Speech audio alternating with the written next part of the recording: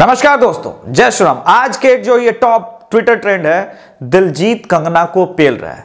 आपको लगता है कि ये कोई भी इंटेलेक्चुअल क्लास का लोग ट्रेंड करा सकता था? खैर, आगे बढ़ते हैं। कंगना शेरनी है, दिलजीत कंगना ये ट्रेंड कर रहे हैं। मगर क्यों दिलजीत वर्सेस कंगना ये हो क्यों रहा है? आइए इस बिल के बारे में समझते हैं, बात करते हैं और दिलजीत को भी समझा मगा डिबेटली common language common language necessary ಇದೆ ನಾನು ಕನ್ನಡ ಬರ್ತೆ ನೀವು ಪಂಜಾಬಿ ಮಾತಾಡ್ತಾರಿಯಾ ಏನಪ್ಪ ಕಮ್ಯುನಿಕೇಶನ್ ಗ್ಯಾಪ್ ಅಲ್ಲಿಯಪ್ಪ कम्युनिकेशन गैप नानू बिहारी मैं एक बिहारी हूं मैं कर्नाटक में जाता हूं तो कन्नड़ में बात करूंगा अगर उसे कोई और लैंग्वेज नहीं आती इसके अलावा मैं अंग्रेजी प्रीफर कर सकता हूं हिंदी प्रीफर कर सकता हूं दिलजीत को समझना होगा कि कंगना को पंजाबी नहीं आती है। तो आपका अस्तर तो यह होता कि आप उससे हिंदी में या इंग्लिश में बात करते। मगर कंगना के हर एक ट्वीट का जवाब दिलजीत पंजाबी में दे रहा है। इसको असभ्यता बोलते हैं, इसको अनसिविलाइज्ड अनकल्चर्ड तरीका बोलते हैं। यह डिबेट का तरीका नहीं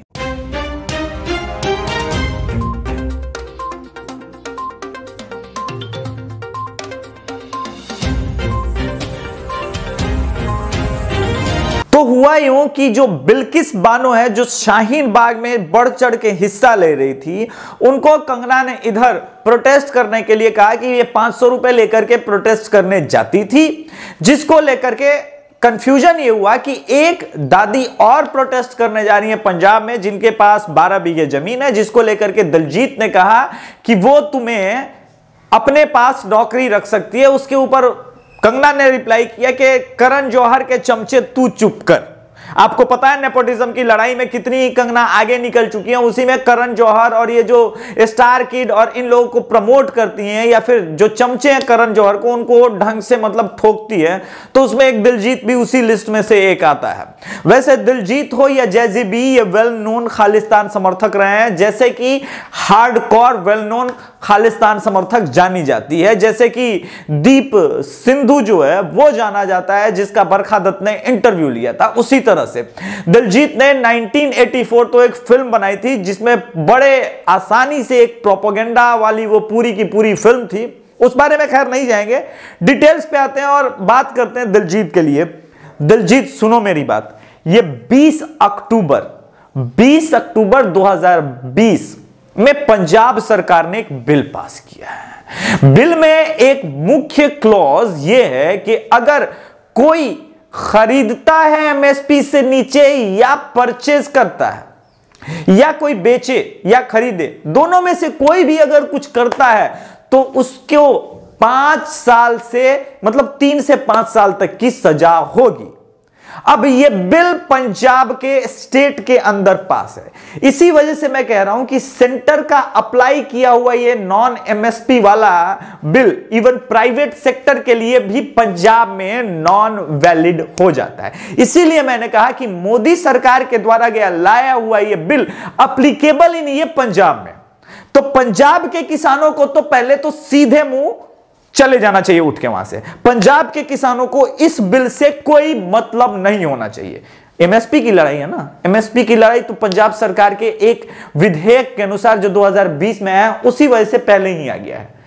तो एमएसपी वाली बात ही अब नहीं है। पंजाब के किसानों को तो एमएसपी मिलेगा ही मिलेगा।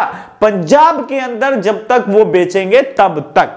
लेकिन पंजाब के किसान अगर हरियाणा में जाकर के बेचना चाहते हैं, पंजाब के किसान अगर चेन्नई में जाके बेचना चाहते हैं। मोदी सरकार के लाए हुए बिल के तहत, क्योंकि अगर मोदी सरकार का बिल वो मानेंगे, तभी तो जाकर के वो हरियाणा में, चेन्नई में, बेंगलुरु में बेच पाएँगे वहाँ की मंडियों में। तो वहाँ पे एमएसपी की गारंटी नहीं भाई, इसमें खपा होने वाली कौन सी बात है? तुम मत मानो ना बिल। तुम मोदी सरकार की बिल मत मानो। तुम पंजाब में ही बेचो, पंजाब में ही खरीदो, जो करना है करो। एमएसपी तो मिल ही रहा है। फिर ये विधवा विलाप का है का? दलजीत मैं मानता हूँ कि तुम खालिस्तानी समर्थक रहे हो तो थोड़ा पंजाबी ज़्यादा समझते होगे, मैं हिंदी ज़्यादा बोल रहा हूँ। तुमको इंग्लिश ज़्यादा समझ में आती होगी मैं हिंदी ही बोलूँगा, क्योंकि मेरी मातृभाषा तो हिंदी है ना। इसके बारे में हम डिटेल कभी बताएँ, बनाएँगे कि खालिस्तान जो थे समर्थक, वो हिंदी के कितने बड़े विरोधी थे, और हिंदुओं को इसी वजह से क्यों मारा था, वो कभी डिटेल्ड हम बात करेंगे।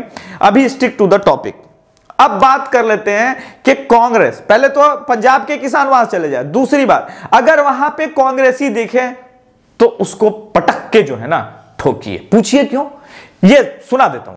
जब किसान होता है और बेचना जाता है तो उसके पास कोई मार्केट नहीं है। उसको मालूम नहीं किस मार्केट को जाना है। अगर मंडी जाता है तो पैंतीस से चालीस प्रतिशत सामान खराब हो जाता है। और इस बीच में आठ आठ लोग कमीशन हाँ तो कपिल सिब्बल, ये गुरु नाम सिंह जैसे कमीशन एजेंट के बारे में बता रहा है, जो कि यहाँ पे विरोध के लिए डटे हुए हैं दिल्ली के बॉर्डर पे। आप समझ रहे हैं? कमीशन एजेंट होते हैं बीच में, आठ कमीशन एजेंट बिचौलिए। और ये स्टडीज़ की गई हैं मेरे पास आने हैं। ये बेचारे किसान को, बेचारे किसान को पंद्रह से सत्रह प्रतिशत जो माल मार्केट में जो माल मार्केट में बिकता है, उसका केवल पंद्रह से सत्रह प्रतिशत किसान को जाता है। अरे रे रे कपिल सिब्बल, ये तो बहुत कम है। पंद्रह से सत्रह प्रतिशत वो भी एमएसपी का किसानों को मिल रहा है। फिर किसानों के लिए तो मोदी सरकार ने अच्छा बिल किया है ना? फिर विरोध क्यों कर रहे हो यार कांग्रेसी? बाकी बिचौलियों को चले जाता है। तो आप आप विपक्ष के नेता और विपक्ष दलों को यह तय करना है कि वो किसान के साथ हैं या बिचौलिए के साथ दोस्तों, अभी आपने देखा होगा कि राहुल गांधी एक वीडियो में कहते हैं कि ये भारत का किसान जो है, वो कहाँ जाएगा? मोदी जी का एरोप्लेन तो पकड़ेगा नहीं, मोदी जी का हेलीकॉप्टर तो पकड़ेगा नहीं, किसान को तो अपने खेत से बाहर निकल के अपनी अनाज बेचना है, एमएसपी बेचना ए, राहुल गांधी, तुम पागल हो, बहुचट हो, बौरा हो, तुम सी के मीटिंग में थे कि नहीं जब ये बिल का मसौदा कांग्रेस ने तैयार किया होगा? या जब भाषण में दे रहे थे ये कपिल सिब्बल सदन के अंदर, तब तुम कहाँ सो रहे रहे थे। अमेठी के सांसद तो उस वक्त तुम थे ही। या फिर उस वक्त कहीं बैंकॉक के सवारी पे गए हुए थे, बैंकॉक घूमने गए हुए थे। गजब का बहुचट आदमी है महाराज। मैंने कांग्रेस यही बिल ले रही थी, इससे ज़्यादा खतरनाक बिल लेके आ रही थी। और वो तो पूरा का पूरा ये मंडी सिस्टम ही खत्म कर रही थी। मोदी सरकार ने मंडी सिस्टम को तो टच ही नहीं किया है। बोला, सरकारी मंडी जो है, वो जस की तस रहेगी, जबकि कपिल सिब्बल के अनुसार तो सरकारी मंडी से तमाम बिचौलिए गायब। खत्म खत्म। वो तो राहुल गांधी तब तो सो रहे थे। बहुचट आदमी होते हैं कांग्रेसी। तो इस आंदोलन से मैंने साबित कर दिया कि सबसे पहले पंजाबी लोग बाहर निकल जाए, जो पंजाब स्टेट के अंदर है, वो पंजाबी बाहर निकल जाए। या फिर पंजाब के अगर किसान प्रोटेस्ट करना चाहते हो तो पहले तो ये खालिस्तानियों को उसमें से बाहर निकाल दीजिए। दूसरी बात ये, योगेंद्र यादव टाइप के लोगों को भी हटा दीजिएगा, वो भी मैं साबित करता हूँ। तीसरी बात, इस बिल में जितना प्रोटेस्ट कर रहे हैं ये कांग्रेसी, इनको तो पहले आप जुतिया के बहरी कर दीजिए।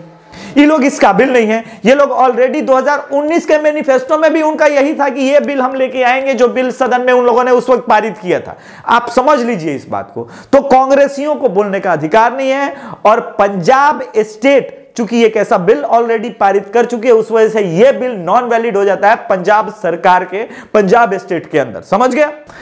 तो कंगना ने क्या वाकई पंजाब की दादी के बारे में कुछ कहा था? नहीं, ये ए का न्यूज़ देख लीजिए। बिल्किस बानो दरअसल जाना चाहती थी किसानों के साथ प्रोटेस्ट में। अब इसका कोई लॉजिक बनता है? ये शाहीन बाग में प्रोटेस्ट कर रही थी। बिल्किस बानो अब किसान हो गई और चली सरदार मतलब जो है पंजाब के किसानों के समर्थन में प्रोटेस्ट में, उस मुद्दे पे जहाँ पंजाब में यह बिल ही लागू नहीं हो पा रहा है। आप समझ रहे बात को? यानी बिना मतलब कहा हम प्रोटेस्ट करेंगे। क्या करोगे जीवन में? प्रोटेस्ट करेंगे।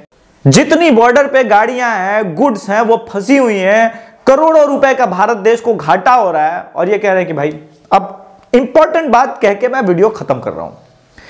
आप समझ लीजिए एक प्राइवेट प्लेयर हैं। आप किसान से कुछ खरीदना चाहते हैं। तो आप क्या एमएसपी देखेंगे या और कुछ देखेंगे? मैं आपको तीन चॉइस दे देता हूँ। क्या आप डब लक्स लाइफ तीनों तो साबुन है। जैसे धान होता है, वैसे तीनों साबुन है। नहाने वाला साबुन है। क्या आप तीनों को एक ही प्राइस में खरीदना चाहेंगे? खरीद लेंगे। नहीं खरीदेंगे। मेरा दावा है, आप नहीं खरीदेंगे। उसी तरह से ये दिलजीत जैसे लोगों को पता ही नहीं है, धान की कितने किस्में किस्में होती हैं। यहाँ तो अरवा और उसना का सेम रेट चावल नहीं मिलता है। जी, अरवा चावल, उसना चावल, जिसको ये लोग क्या बोलते हो तुम लोग? बॉयल्ड सेमी बॉयल्ड और अनबॉयल्ड नॉन बॉयल्ड यही बोलते हो ना अंग्रेज़ी में?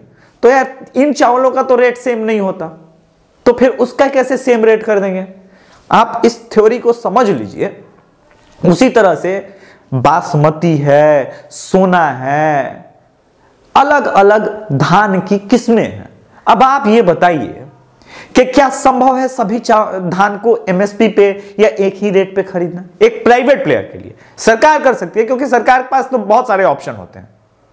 तो सरकार सारा का सारा तो एमएसपी पे अभी भी खरीद रही है।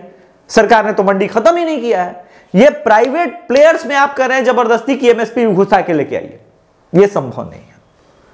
और इस प्रकार से काम होता नहीं दोस्तों, अगर वीडियो अच्छा लगा हो तो लाइक शेयर कीजिए चैनल को सब्सक्राइब कीजिए। आर्यावर्त सनातन संगठन से जो जुड़ना चाहते हो तो वो तो मेल कर ही रहे हैं। जो डोनेट करना चाहते हैं, वो डोनेट कर सकते हैं। लिंक जो है डिस्क्रिप्शन में यही नहीं, अब आर्यावर्त सनातन संगठन के लिए जल्दी ही हम एक वेबसाइट लॉन्च कर रहे हैं, उसके ऊपर काम हो रहा है और उसके बाद आप डायरेक्टली वेबसाइट के थ्रू जुड़ जाएँगे और इतना ईजी होगा, मैं आपको उसी के अंदर, वेबसाइट के अंदर जुड़ने के बाद मैं आपको असाइन कर सकूँगा वहाँ के लिए आपका कार्यभार। जय श्री राम।